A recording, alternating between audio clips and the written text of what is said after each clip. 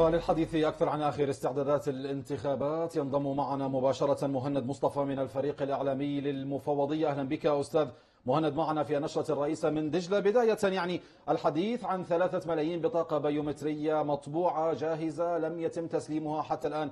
هل نستطيع القول أن الأيام المتبقية؟ نتحدث عن 21 يوما. هل هي كافية لتسليم البطاقات في موعدها المحدد؟ تفضل.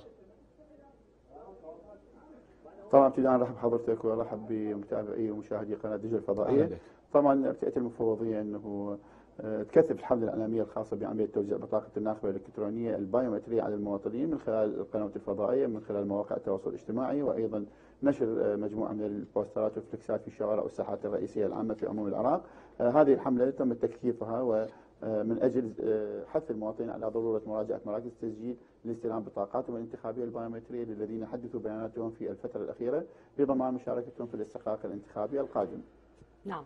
طيب أستاذ مهند أرحب بك من جديد في هذه النشرة. يعني آه، كما قلت عدد البطاقات البيومترية آه، غير المستلمة عدد كبير وقادر على قلب الموازين. بالتالي هل المفوضية ستقوم بإرسال فرق لتوزيع هذه البطاقات أم يجب على الناخب المجيء إلى مركز الاقتراع وأخذ بطاقته؟ طبعا هناك فرق جوالة تقوم بعملية توزيع بطاقة الناخب البيومترية على المواطنين من خلال الذهاب إلى منازلهم وإلى التجمعات السكانية بالاتفاق مع آه، قاده الراي في داخل هذه المناطق المختارين وأيضا المواد الغذائية هذه الطرق تم استحداثها من قبل المفوضية وذلك لزيادة نسب توزيع البطاقات المتبقية ونأمل في الفترة المتبقية من خلال آه، تكثيف الحملة الإعلامية على المواطنين للذهاب إلى المراكز لاستلام بطاقاتهم الانتخابية. طيب يعني أستاذ مهند في حال انتهت المدة الزمنية المخصصة لتوزيع هذه البطاقات ولم يتم تسليم كامل هذه البطاقات ما هي الآلية للتعامل مع البطاقات المتبقية لدى المفوضية؟ هل سيتم إتلافها أو إيقافها بشكل مؤقت؟ وهل هناك مخاوف أو طرق ربما يستخدمها المزورون لاستخدام هذه البطاقات التي لم يتم تسليمها؟ هل هناك خوف من ذلك؟ طبعا لن تكون هناك أي خوف من هذه العملية، المواطن الذي لن يستطيع أن يذهب لاستلام بطاقته الانتخابية سوف يكون لن يستطيع المشاركة في الانتخابات، نحن بدورنا في الأيام الأخيرة المتبقية لعمليه التصويت سيتم وبعد توقف عملية التوزيع سوف يتم آه، سحب هذه البطاقات من مراكز التسجيل ومن ترسل إلى مكتب المحافظة ومن ثم ترسل إلى المكتب الوطني ثم تخزن في قاصه في داخل المكتب الوطني ومن ثم آه، تجري عملية الانتخابات، الذي لن يستلم بطاقته في هذه الفترة سوف يحرم من المشاركة في الاستحقاق الانتخابي المقبل ولن يؤثر عملية عدم استلامه لبطاقته على نتائج وسير العملية الانتخابية، فقط سوف يحرم نفسه من المشاركة في الاستحقاق الانتخابي وهو استحقاق خاص به كشخص. طيب أستاذ مهند يعني القوى السياسية سبق وأن وقعت على مدونة السلوك الانتخابي. نتحدث أكثر عن هذه آه، المدونة وإلى أي مدى هي ملزمة؟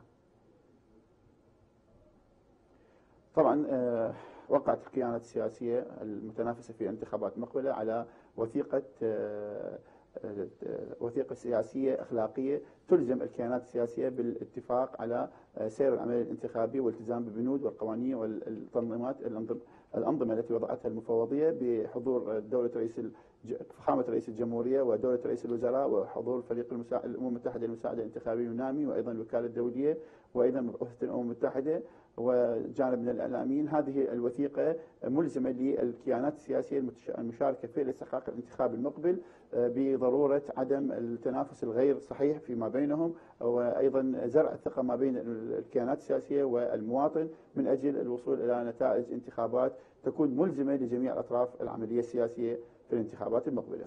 طيب يعني هناك من يتحدث أستاذ مهند عن قيام بعض المرشحين بشراء بطاقات انتخابية من يعني في هذه الانتخابات. السؤال ما هو جدوى شراء هذه البطاقات وكيف يمكن تزوير الانتخابات من خلالها خاصة بعد أن أعلنتم بضرورة وإلزامية بصمة الأصابع العشرة عند التصويت؟ طبعا واحدة من الإجراءات الوضعات المفوضية في الحد من عملية التلاعب أو نية التلاعب لدى الأحزاب أو الأفراد الذين ينمون هذا العمل هناك بطاقة بايومترية آه، لن يستطيع أي شخص المشاركة في الانتخابات ما لم يكن آه، يحمل بطاقته الانتخابية. وهذا في هذه الحالة سوف يكون هناك آه، احتراز من ناحية المواطن في مسألة المشاركة في الانتخابات إلا بحمله بطاقه الناخب الالكتروني، ولن يستطيع أي شخص المشاركة في الانتخابات ما لم يكن يحمل بطاقته، اذا لا فائدة من عملية بيع وشراء فهذا ما متداول، في وسائل الإعلام إنه هناك من يشتري هذه البطاقة أو يحتفظ ببطاقه المواطنين آه، ويحتفظ بها لن تكون له جدوى من عملية شرائه لهذه البطاقات لأن المواطن يجب بنفسه أن يذهب إلى إلى صندوق الاقتراع والمشاركة من خلال تواجده في داخل المحطة التي تكون اسمه متواجد فيها. نعم. طيب أستاذ مهند بموضوع المراقبة الدولية يعني دول ومنظمات كثيرة أعلنت استعدادها لإرسال مراقبين دوليين لمراقبة العملية الانتخابية. بالتالي هل لديكم رقم محدد لعدد هذه المنظمات؟ أيضا أين سيكون انتشارهم؟ طبعا هناك اهتمام عالمي من دول العالم في مسألة المشاركة في الاستحقاق الانتخابي بالنسبة للعراق، هناك الأمم المتحدة، فريق من الاتحاد الأوروبي، فريق من فرق من السفارات التي لديها تمثيل داخل العراق وأيضا من جامعة الدول العربية والاتحاد الإسلامي. ابعثوا بعثوا بمندوبين لتهيئه عملية فرق وصول فرق المراقبة الخاصة بهم وتهيئة الأماكن التي سوف يكونون قد يذهبون للمراقبة في محافظات العراق بالتنسيق والتعاون مع مفوضية الانتخابات، ترتئ المفوضية في هذه المرحلة السماح لأكبر عدد ممكن من الوكلاء من الإعلاميين ومراقبين دوليين وأيضا الإعلاميين المحليين ومراقبين دوليين المحليين بمراقبه العملية الانتخابية من خلال تواجدهم في داخل المحطات بعد استحصالهم على باجات المراقبة تسمح لهم في الدخول إلى داخل المحطات ومراقبة سير العملية الانتخابية. يعني أستاذ مهند هناك وثيقة صدرت عن مركز انتخابات اليوسفية ببغداد. تحدثت عن فقدان أحد موظفي المفوضية وكان بحوزته آه، بيانات انتخابية. هل لك أن تضعنا في صورة ما جرى؟ لو سمحت تفضل.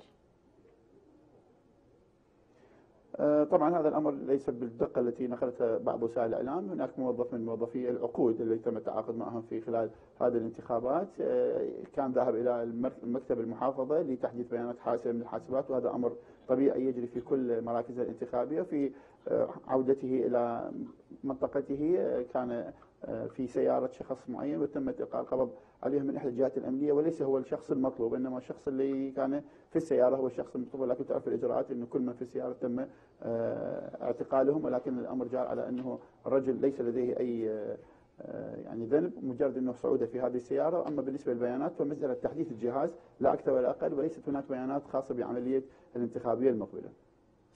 اذا كل الشكر للأستاذ مهند مصطفى من الفريق الإعلامي للمفوضية.